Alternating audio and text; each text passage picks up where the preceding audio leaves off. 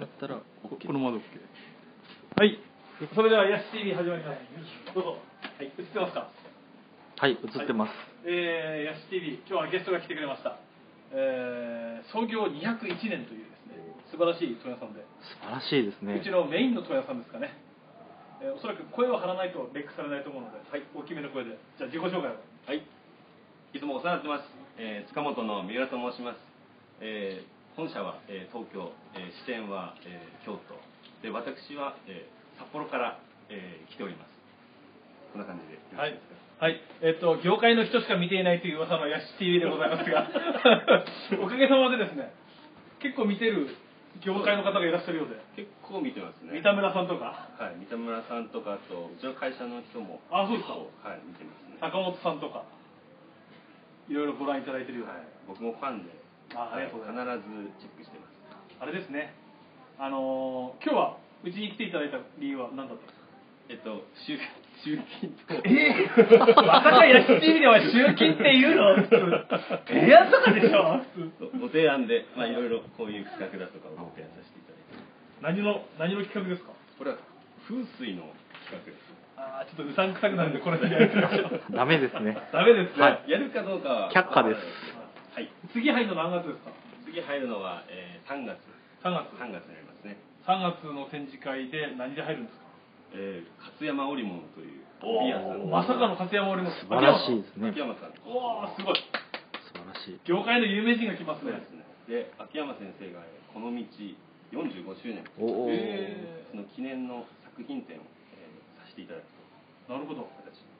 三浦さんはこの道何年なんですか？この道8年。です。微妙な感じですね。はい、8年。ああ、専務何年ですか？ー俺でねえー、ちょうど今満で18年目ですね。8つながりで。8つながり。で。まあ。まあまあ。無理ありますけど無理ありですけどね。なるほど。えっと一般的にその塚本さんから見てうちの店はどんな感じなんですかね、うん、まあ一言で言うと、まあノリノリという形で表現できるか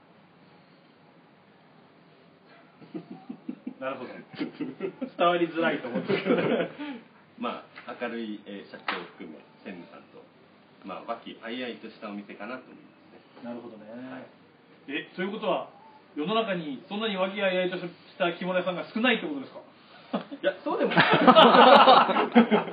そうでもないですねでも随分な、はい20何年付き合わせてもらってるんですかね塚本さんとは。そうですね。それ平成2年ぐらいかなと思うので古いですもんね。やっぱり布施、うん、さんとは。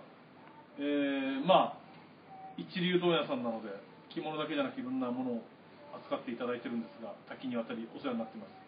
えー、ヤシ TV をご覧いただいてる業界の方じゃなくて、えっと、ご覧いただいてる一般ユーザーの方たちにですと、えー、まあちょっと変わった提案ができたりえーさらには業界で有名な先生をうちの店にお呼びしてくれたりする会社さんですかねで昨年200周年創業そうですね。はい。節目を迎えました。えー確か老舗の会とかもやりましたもんねそうですね。あの11月の創業祭に、えー、布施さんとタイアップ企画で、えー、老舗の会という形でですねやっていただいて、あの時は素晴らしい会になりましたね。あ素晴らしい会になりました過ね去過去に。そうですね。はい、素晴らしい会になりました。うん。まあ本当多岐にわたりお世話になってますが。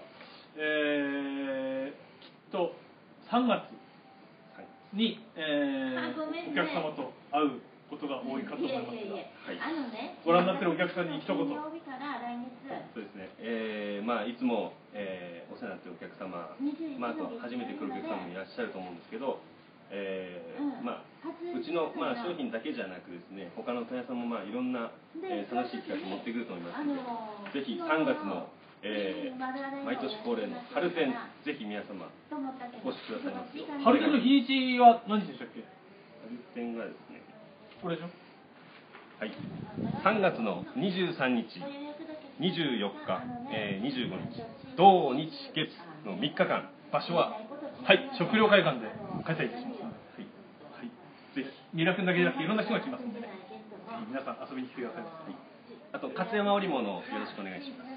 白組なのね白組だったらはい、OK でございます。はい